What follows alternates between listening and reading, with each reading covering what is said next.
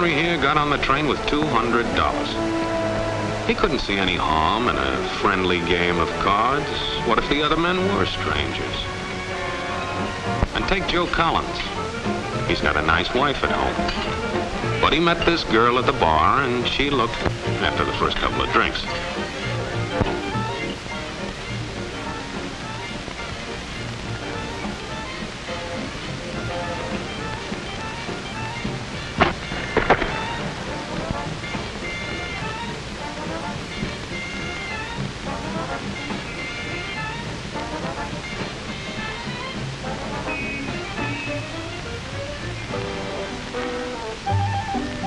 A good old-fashioned word for people like this. We call them suckers. And there are other people. People who stay up nights figuring out how to take away what they've got. There are all kinds of games. Mike here, for instance. He's got everything in me. He's young, he's healthy, got a job. And he's got a plenty of food. Big factories to make things a man can use big cities to do the business of a big company. And people, lots of people. Enough to work the farm and build the factories, dig the mines, run the business. All kinds of people. People from different countries with different religions, different colored skins. Free people. They can live together and work together and build America together because they're free. Free to vote, to say what they please, go to their own churches, to pick their own jobs. Yeah, Mike's got something, all right. He's got America. But there are guys who stay up nights figuring out how to take that away from him. I happen to know the facts. Now, friends, I'm just an average American. But I'm an American American. And some of the things I see in this country of ours make my blood boil. I see people with foreign money. I see Negroes holding jobs that belong to me and you. Now I ask you, if we allow this thing to go on, what's going to become of us real Americans? I've heard this kind of talk before, but I never expected to hear it in America. This fellow seems to know what he's talking about. What are we real Americans going to do about it? You'll find it right here in this little pamphlet. The truth about Negroes and foreigners. The truth about the Catholic Church. Do you believe in that kind of talk? I don't know, makes pretty good sense to me. And I tell you, friends, we'll never be able to call this country our own until it's a country without. Without what? Yeah, without what? Without Negroes. Without alien foreigners. Without Catholics. Without Freemasons. You know these people. What's wrong with the Masons? I'm a Mason. Hey, that fellow's talking about me. And that makes a difference, doesn't it? These are your enemies. These are the people who are trying to take over our country. Now you know them. You know what they stand for. And it's up to you and me to fight them. Fight them and destroy them before they destroy us. Thank you.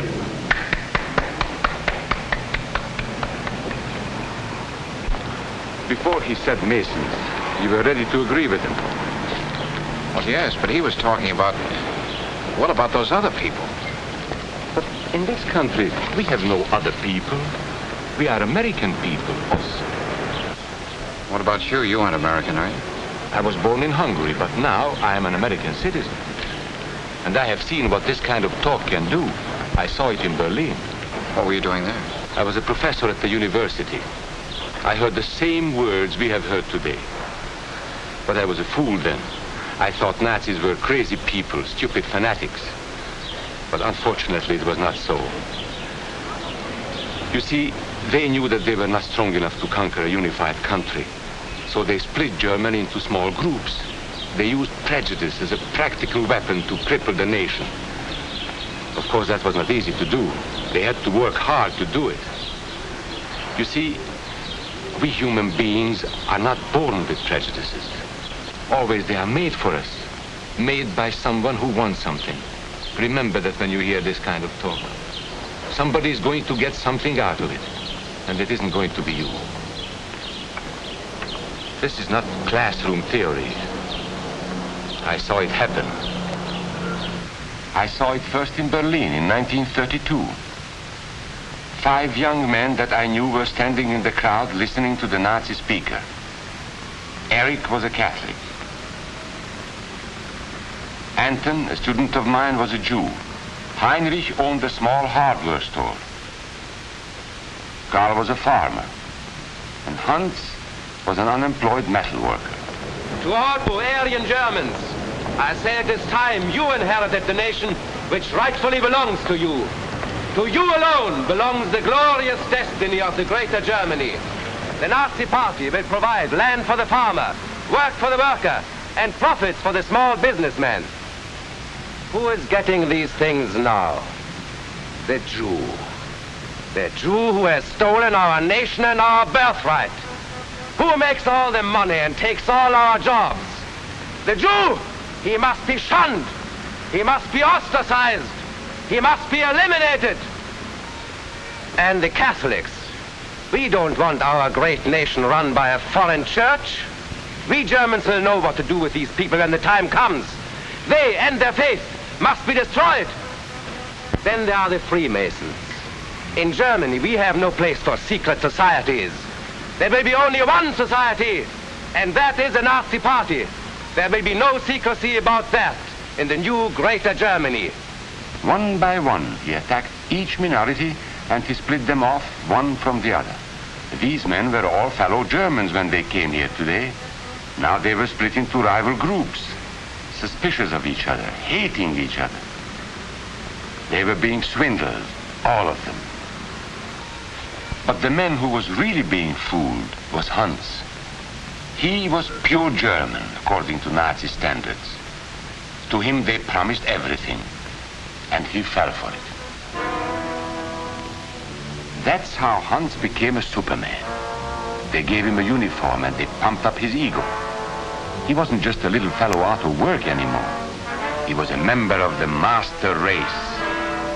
Hans and thousands of others like him, all playing a sucker's game.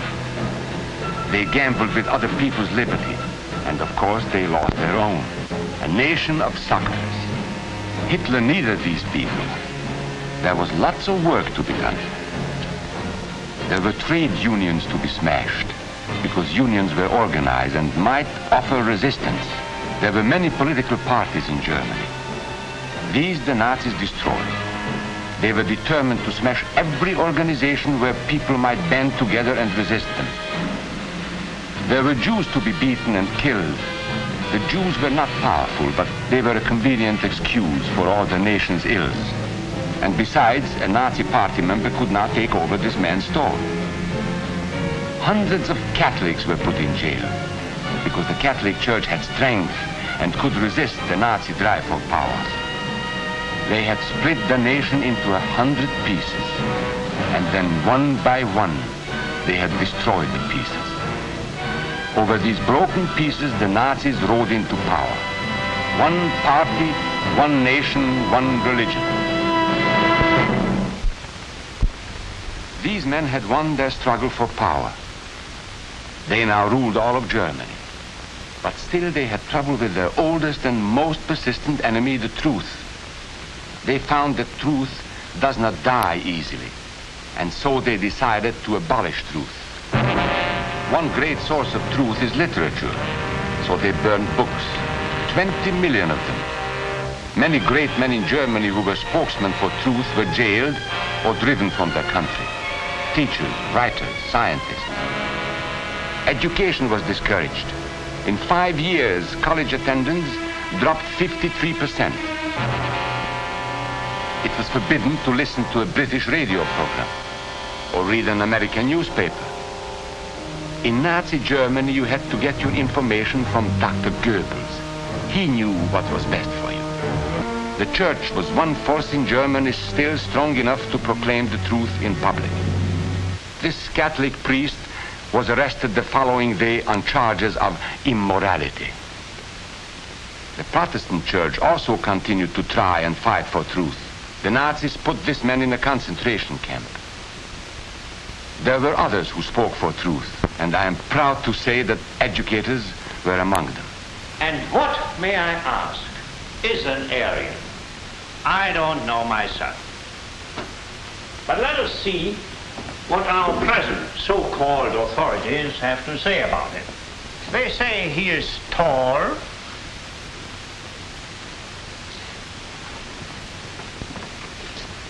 slender,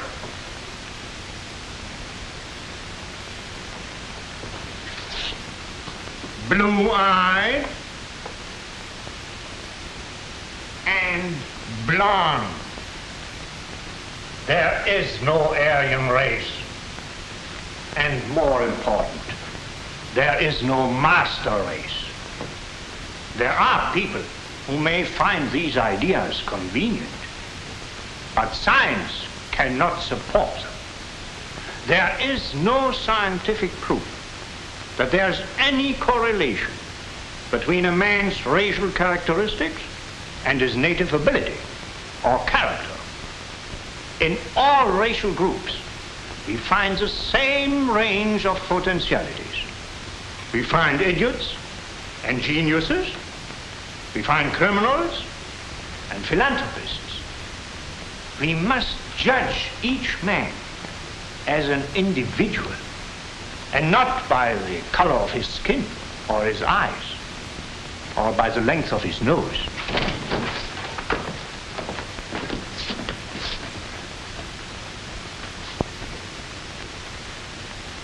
Come in, gentlemen. It's comfortable. And remember that there is no master race. That is a scientific truth. Anyone who tells you otherwise is lying.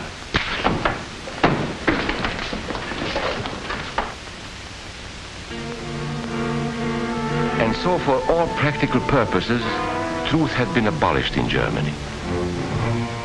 A lot of my German friends wondered what had hit them. How did it happen? Where did it start? It started right here. And this was where it could have been stopped. If those people had stood together, if they had protected each other, they could have resisted the Nazi threat. Together they would have been strong. But once they allowed themselves to be split apart, they were helpless. When that first minority lost out, everybody lost out. They made the mistake of gambling with other people's freedom. Now let's see how those bets paid off. Karl the farmer was gambling on a better life for himself. What he got was extra hours of back-breaking work as much as a hundred hours a week. He was forced to stay on his land and produce what he was told to produce, because now Hitler was preparing for war. For Heinrich, who owned a hardware store, the bet didn't pay off either. 104,000 small businesses were closed in two years. And for Hans, conditions hadn't improved any. He had a job now in the munitions factory, but he worked long hours for little pay. The working conditions grew increasingly bad. And even though he didn't like the job, he wasn't permitted to leave it. And when Hitler decided the time was right, Germany went to war. Not by declaring war, but by a carefully prepared sneak attack. Once again, Hitler needed Hans to do his dirty work. Hans was an expert at brutality this time and Hitler had decided to use Hans and his brutality against other peoples, the Czechs, the Poles, the French, the Russians.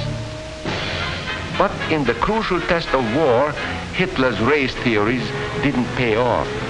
His pure-blooded supermen were defeated by the mongrel armies he despised.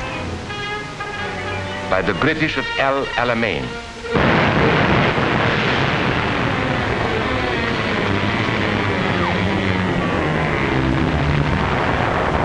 the Russians at Stalingrad.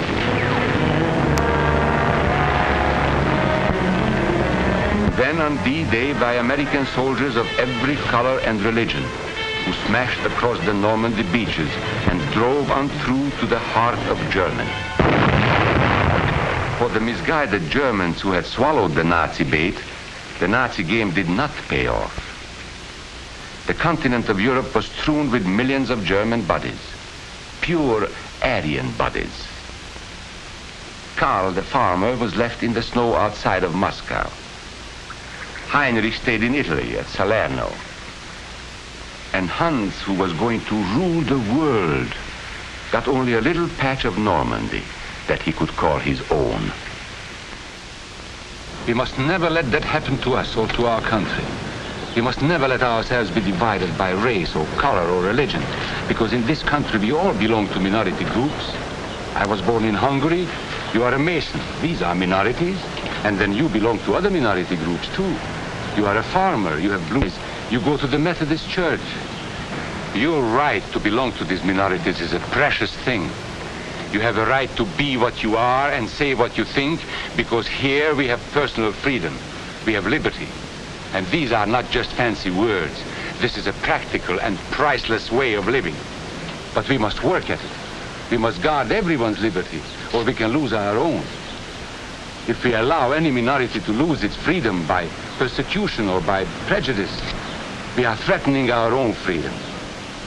And this is not simply an idea. This is good, hard common sense. You see, here in America is not a question whether we tolerate minorities. America is minorities. And that means you and me.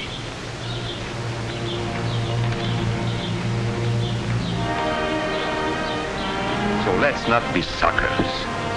We must not allow the freedom or dignity of any man to be threatened by any act or word. Let's be selfish about it. Let's forget about we and they. Let's think about us.